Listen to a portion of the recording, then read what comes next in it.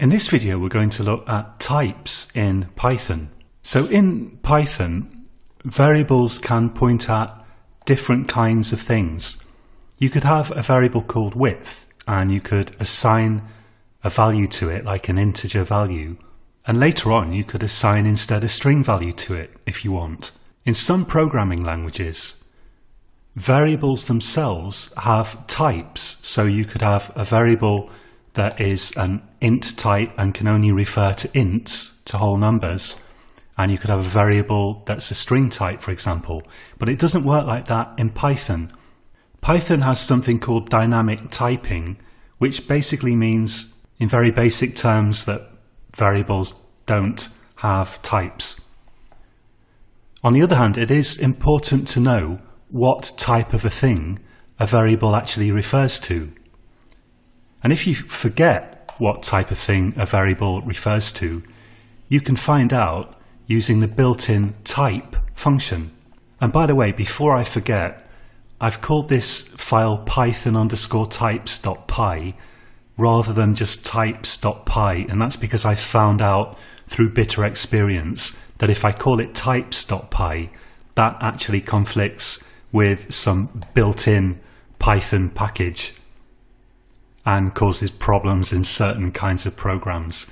That's not a problem you'll often encounter though. So let's take a look at this width variable. I'm going to use print to print something out and what I want to print is the return value of the type function. And to the type function I'm going to pass width as an argument. Arguments being just things that we pass to functions. So I'm passing width to the type function and that returns a value. It gives us a value back, which I then print using print.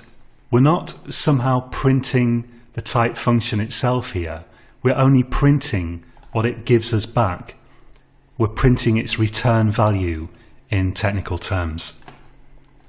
So if I run this, we see we get some text here that says class int. We'll be talking about classes and objects in depth later on in this course, but for now the important point is that it's telling us that width refers to an int value, an integer value. We can also try this with length. Let's try it.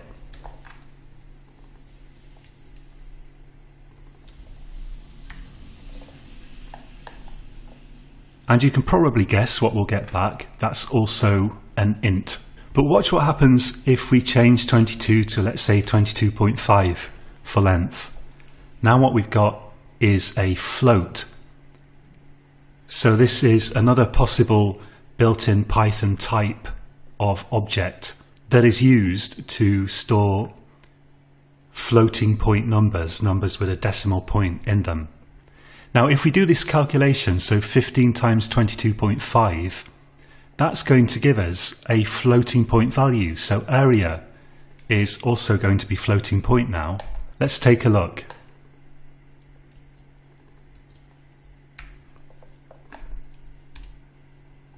And we can see that area also has class float. Now basically everything in Python is an object and one of the things that means is that we can use the type function on practically everything. So for example, we could find out what is the type of this text here, which is a kind of an object. Let's run it. Object has a technical definition, which we'll look at later. And you can see here that the type of this string literal is str. That's its type meaning it's a string type, it's some text, a string of characters. We can even try the type function on functions, which are themselves also objects. So let's take a look and try type on print. Now in this case, I'm only going to type print by itself. I'm not going to put round brackets after it. If I put round brackets here, like an open and close round bracket directly after print, that would actually run the print function. And with empty round brackets after it, it would just simply create a new line in the console, an empty line. If I run the type function and I supply the name print to it, then we can actually get something sensible back. We can see that print is a kind of built-in function or method. A method is a function that's attached to an object, but we haven't covered that yet, so don't worry about it. What this is basically telling us is that print is a function. So again, there's no need to memorize anything here, but what it is important to do is try this out for yourself.